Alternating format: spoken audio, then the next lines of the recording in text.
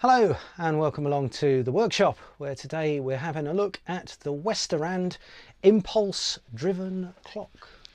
There it is. Um, right, let's have a good look at it on the bench and uh, see what makes it tick, literally. Okay, uh, here's the clock itself. As you can see, it looks very much like a conventional um, electric or mechanical clock. Uh, it's made by Westerstrand and the logo's sadly hidden by the hour hand at the moment we shan't worry about that. Um, and what it is, it's an impulse clock. It's the sort of thing you used to get in schools, offices and factories where the clock contains no timekeeping apparatus at all. It's all done uh, by a remote clock somewhere else in the building and all the clocks are synchronized together. You may also have heard the name Synchronome was um, what I had fitted to my, my, my uh, school when I was a kid. Um, it also rang the bells for changing of lessons. I wonder if they still do that. But there it is. Um, so what the clocks have is uh, something that looks very much like a clock mechanism on the back. Um, except for, like I say, it has no timekeeping in it whatsoever. Um, how it's actuated is uh, you put 24 volts pulse on here, on the hand moves a bit, and turn it uh, one minute, and then you put the next pulse is reverse polarity. Pulse it again, it moves a minute on. Um, I'm just going to demonstrate that now. Um, all right, so I've got my 24 volts power supply here. So if we put uh, positive on the left there and negative on the right. Um, and what I shall do is pulse the pulse the power supply. So let me just connect that up. So if I pulse the supply, as you can see, it moves on. Reverse the polarity, pulse the supply again, there it goes another minute. And that's how it would operate. The master clock would send these pulses to all the clocks in, in the building and they'd all remain in sync. Of course, if you get a fault, it makes it a little more difficult, especially if one's clock ran out of, uh, broke and all the others would still be running. Um, the Synchronome system, I believe, was wired in series, so that was the clocks all wired in a chain. Um, the Westerstrand system um, appears to uh, have had parallel connected clocks. So um, obviously if one failed they wouldn't all stop. Right so we needed a device to drive this. So let me just rest that up there. So what we've come up with is uh, oh where are we? There we are. Is uh, see if I can get a zoom in. Are you going to focus? No. No. No it's not going to focus. Never mind. But anyway we've developed this little PCB it's got an ATmega uh, 3 to 8 uh, microcontroller on there, uh, two push buttons to control the setting, initial setting of the clock, and I'll come back to that in a minute. Um, bunch of transistors down here, uh, which form an H bridge, which uh, supplies the 24 volts to the coil of the clock and reverses it as appropriate under the control of the microprocessor. It's also got a uh, 433 megahertz radio receiver here, um, because if you've followed my channel, you'll know that uh, we built a master clock, um, which at least once a day um, transmits um, a clock signal uh, that's locked to GPS to all the other remote clocks um, in the building and that's just so you know we never have to set them. Also in here is a British summertime detector so in the event of uh, it being uh, alleged summer in the UK actually it's very nice today it will um, it'll compensate and add the hour on for daylight saving time as required. Right let's uh, let's run it all up and uh, show you what uh, how this all works. Okay, so we've got our clock connected back up to the, the circuit we've built.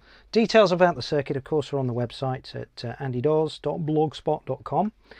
So first thing we need to do is the control circuitry has no idea what is being displayed on the clock face. There is no feedback whatsoever to tell the microprocessor what the time is.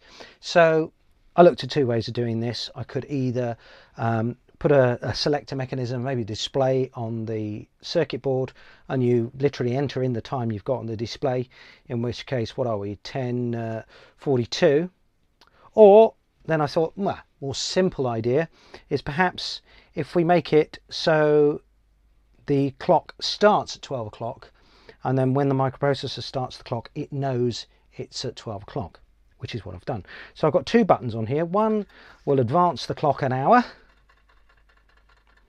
there it goes.